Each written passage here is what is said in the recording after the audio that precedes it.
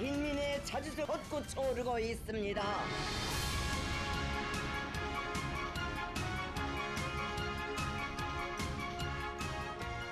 대륙간 단도미사일 이번 시험 발사를 통하여 무기 체계의 모 시험 발사는 대성공으로 평가됐습니다.